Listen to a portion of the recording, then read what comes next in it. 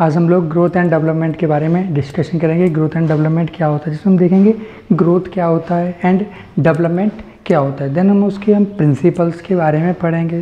Then हम उसके हम क्या देखेंगे? Factor influencing growth and development next हम देखेंगे क्या? Growth and development age period मतलब क्या एज पीरियड था जिसमें ग्रोथ एंड डेवलपमेंट होता है? तो फ़र्स्ट हम देखते हैं ग्रोथ एंड डेवलपमेंट कि ग्रोथ क्या होता है? डेवलपमेंट क्या होता है? कि सिंपल से हम देखते हैं तो ग्रोथ क्या होता है? कि ग्रोथ कहीं ना कहीं फिजिकली मैचुरेशन होना, क्या होना? फिजिकली मैचुरेशन होने की जो प्रोसेस है, उसको हम बोलते हैं ग्रोथ मतलब कहीं ना कहीं जो बॉडी का सेप साइज़ जो ऑर्गन्स है, उनका सेप साइज़ बोन्स का सेप साइज़ क्या होना?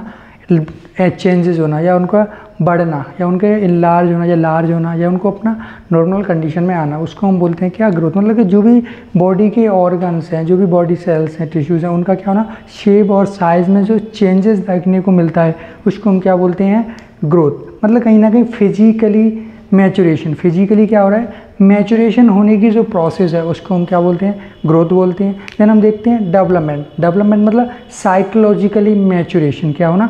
साइकोलॉजिकली मैचुरेशन साइकोलॉजिकली मतलब प्रॉपर थिंक करना, किसी भी चीज़ को अच्छे से समझना, सुनना, उसको लर्न करना डिसीज़न लेना मतलब एक सोसाइटी के साथ एडजस्ट करने की जो कैपेसिटी है, वो डेवलप्ड होती है, उसको हम बोलते हैं क्या? डेवलपमेंट मतलब कहीं ना कहीं क्या होता है ग्रोथ मतलब फिजिकली बॉडी और शेप साइज़ में चेंज होना देन आपका डेवलपमेंट मतलब मेंटली डेवलप्ड होना मतलब मेंटली मानसिक रूप से क्या हो जाना ग्रोथ या मानसिक रूप से विकास होना, उसको हम बोलते हैं क्या?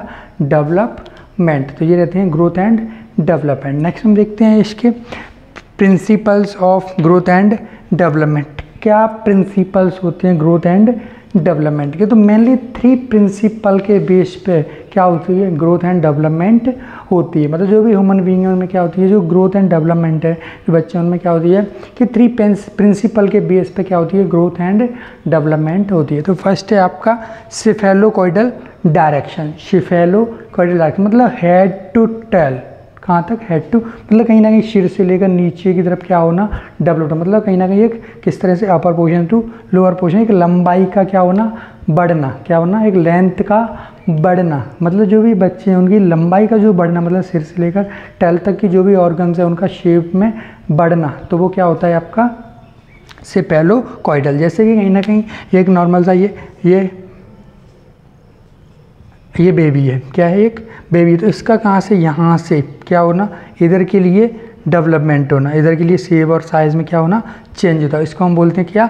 सुपेलो कोइडल डायरेक्शन मतलब सिर हेड से लेकर टेल तक। पैरों के तरफ़ के लिए जो डेवलपमेंट होता है, उसको हम बोलते हैं क्या?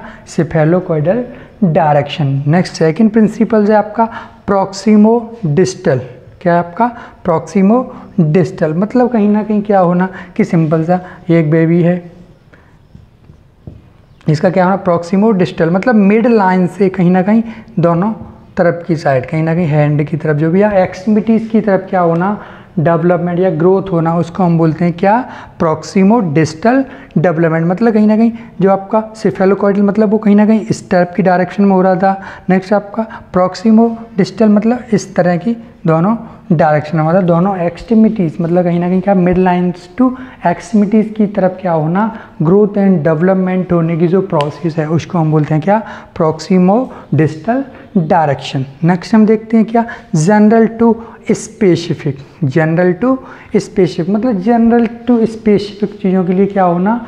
ग्रोथ एंड डेवलपमेंट होना। मतलब सिंपल हम जनरली बोलते हैं ऑटोमेटिक किसी भी चीज़ को होल्ड करने की कैपेसिटी डेवलप्ड होना, किसी भी चीज़ को आइडेंटिफाई करने की कैपेसिटी पेसिटी डेवलपमेंट होना प्रॉपर बिना किसी सपोर्ट के चलना, घूमना, बैठना चिल्लाना, या अपने आप से फ़ूड ईट करना। तो ये कहीं ना कहीं क्या हो रहा है? जनरल टू स्पेसिफिक मतलब एक जनरल छोटी छोटी चीज़ों से लेकर थोड़े थोड़ा स्पेसिफिक जो सोसाइटी के अंदर कुछ चीज़ों को समझना, सोचना, उनके साथ बिहेव करना, एक स्माइल करना, कोई ना कोई रिस्पॉन्स करना, कोई एक्टिविटीज़ करना फ़िज़िकल एक्टिविटीज़ करना तो ये सब डेवलपमेंट हो रहे हैं। मतलब इसको हम बोलते हैं क्या? जनरल टू स्पेसिफिक मतलब कुछ जनरल वर्ड से कुछ स्पेसिफिक चीज़ों को सीखना। जैसे कि हमने उसको छोटी चीज़ों को पकड़ना था तो धीमे धीमे वो कुछ बड़ी चीज़ों को होल्ड करना सीख से। छोटे टर्म्स सिखाए उससे वो धीमे धीमे कुछ बड़े मतलब एक जनरल टर्म सिखाए उससे वो कुछ स्पेसिफिक चीज़ों को वो सीख जाते हैं। उसको हम बोलते हैं क्या? जनरल टू स्पेसिफिक प्रिंसिपल तो ये थ्री प्रिंसिपल के बेस पे क्या होता है? ग्रोथ एंड डेवलपमेंट होता है। तो फ़र्स्ट प्रिंसिपल क्या है आपका? Cephalo cephalo cephalocaudal direction second है आपका प्रोक्सीमो डिस्टल डायरेक्शन थर्ड है आपका जनरल टू स्पेसिफिक स्पेसिफिक। तो ये थ्री प्रिंसिपल होते हैं किसके? ग्रोथ एंड डेवलपमेंट के। नेक्स्ट हम देखते हैं factor influencing growth and development मतलब कौन कौन से फैक्टर हैं जो इन्फ्लुएंस करते हैं ग्रोथ एंड डेवलपमेंट को? क्या क्या फैक्टर्स होते हैं? तो मेनली क्या है? थ्री फैक्टर्स होते हैं जो क्या करते हैं? ग्रोथ एंड डेवलपमेंट को क्या करते हैं? इन्फ्लुएंस करते हैं, प्रभावित करते हैं। तो फ़र्स्ट है आपका जेनेटिक फैक्टर नेक्स्ट है आपका प्रीनेटल फैक्टर देन आपका पोस्ट नेटल फैक्टर मतलब कुछ जेनेटिक फैक्टर भी क्या कर सकते हैं? ग्रोथ एंड डेवलपमेंट को क्या कर सकते हैं? प्रभावित कर सकते हैं। जैसे कि सिंपल से क्या बोल सकते हैं? कोई जेनेटिकल प्रॉब्लम है या जेनेटिकल रोग डिसीज़ है जेनेटिक डिसऑर्डर है, उस कंडीशन में क्या होगा? प्रॉपरली ग्रोथ एंड डेवलपमेंट नहीं होगा। नेक्स्ट सेक्स के मेल फीमेल की एज या उनकी हाइट अच्छी नहीं है या उनका फिजिक्स कहीं ना कहीं प्रॉब्लम तो उस समय भी क्या हो सकता है, जो बेबी है उनमें क्या होगा प्रॉपरली ग्रोथ एंड डेवलपमेंट नहीं होगा। कहीं ना कहीं रेस क्लास मतलब किसी भी एरिया में जहाँ रहते हैं, वहाँ का इन्वायरमेंट वो भी क्या कर सकता है, प्रभावित कर सकता है। तो ये सारी कुछ चीज़ें जो जेनेटिकली कहीं ना कहीं क्या कर सकती हैं, उसको प्रभावित कर सकती हैं। रेस कल्चर ये सारी चीज़ें क्या कर सकती हैं, ये किसके अंदर आती हैं? जेनेटिक मतलब कोई जेनेटिक डिसऑर्डर है मदर और फेदर को तो उस समय बेबी को होने के चांसेस हैं तो कहीं ना कहीं प्रॉपरली बच्चों में ग्रोथ डेवलपमेंट नहीं हुआ एक सेक्स पे भी डिपेंड करता है। नेक्स्ट वहाँ का रेस मतलब किस भी एरिया में रहते हैं, उसके रेस पे भी डिपेंड करता है ग्रोथ एंड डेवलपमेंट तो ये थे कुछ जेनेटिक फैक्टर नेक्स्ट हम देखते हैं प्री नेटल फैक्टर मतलब डिलीवरी होने से पहले क्या चीज़ हो सकती है जिसकी वजह से कहीं ना कहीं बच्चों में ग्रोथ एंड डेवलपमेंट नहीं हो रहा। कि जो भी मदर है वो क्या है प्रॉपरली डाइट प्रॉपर डाइट नहीं ले पा रही। कहीं ना कहीं मालन्यूट्रिशन है, या कहीं ना कहीं उसमें कुछ ना कुछ प्रॉपर क्या है डाइट प्रॉपर नहीं है, या कहीं ना कहीं फिजिकली बहुत ही ज़्यादा डिस्टर्ब है, या कहीं ना कहीं साइकोलॉजिकली बहुत ज़्यादा डिस्टर्ब है ड्यूरिंग प्रेगनेंसी देन कहीं ना कहीं आपको उसको जो है, जो भी है, जो फ़ूड हैबिट है, वो बहुत बैड हैबिट हैं, देन आपका उसमें कुछ बैड हैबिट, जैसे स्मोकिंग, ड्रिंकिंग, ये सारी हैबिट्स हैं। तो इस वजह से भी क्या हो सकता है, प्रॉपरली जो बच्चे हैं, उनका डेवलपमेंट एंड ग्रोथ नहीं होगा। नेक्स्ट है आपका पोस्ट ने पोस्ट नेटल फैक्टर। तो कुछ पोस्ट नेटल फैक्टर भी होती हैं जो ग्रोथ एंड डेवलपमेंट को क्या करती हैं, प्रभावित करते हैं, या प्रॉपरली ब्रेस्ट फीडिंग नहीं हो पा रहा, उनके लिए एक प्रॉपर सफिशिएंट या गुड इन्वायरमेंट अवेलेबल नहीं है।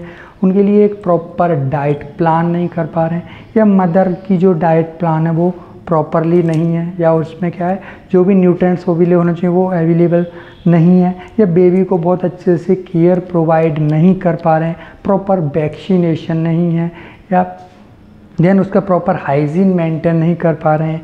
तो ये सारे फैक्टर क्या कर सकते हैं? उसकी ग्रोथ एंड डेवलपमेंट को प्रभावित कर सकते हैं। या बेबी या मदर कहीं ना कहीं कोई इन्फेक्शन है, कोई भी डिसीज़ है, उस कंडीशन में क्या होगा? ग्रोथ एंड डेवलपमेंट क्या होती है? प्रभावित हो सकते हैं। तो ये कुछ फैक्टर होते हैं genetic and prenatal and postnatal factor जो कहीं ना कहीं ग्रोथ एंड डेवलपमेंट को क्या करते हैं? प्रभावित करते हैं। नेक्स्ट हम देखते हैं क्या है? Growth and development age period कि मतलब क्या एज पीरियड होता है? जहाँ पर ग्रोथ एंड डेवलपमेंट हमें देखने को मिलता है मोस्टली तो एक फ़र्स्ट क्या होता है आपका? न्यूनेटल एज होती है, जिसको हम बोलते हैं वर्थ टू वन मंथ का जो वर्थ टू वन मंथ का जो टाइम ड्यूरेशन होता है, उस बेबी को हम क्या बोलते हैं? न्यूनेटल एज में भी क्या होता है? बेबी में बहुत सारे चेंजेस हमें देखने को मिलते हैं। ग्रोथ एंड डेवलपमेंट इनमें हम सभी के अंदर हम देखेंगे क्या क्या ग्रोथ एंड डेवलपमेंट होते हैं नेक्स्ट क्लास में।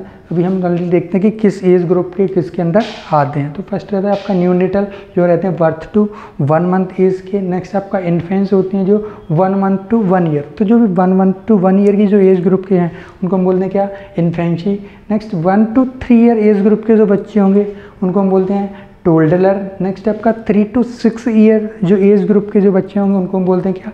प्री स्कूल नेक्स्ट आपका six to twelve year age group के जो बच्चे होंगे, उनको हम बोलते हैं क्या? स्कूल एज देन आपका आपका सबसे लास्ट है, जो कहीं ना कहीं थर्टीन टू एट्टीन एट्टीन के बाद होते हैं एडल्ट तो कहीं ना कहीं ये पीरियड के हम कहाँ एट्टीन ईयर तक के बारे में बच्चों के बारे में हम डिस्कशन करते हैं। तो जो आपका thirteen to eighteen year age group के जो बच्चे होते हैं, उनको हम बोलते हैं क्या?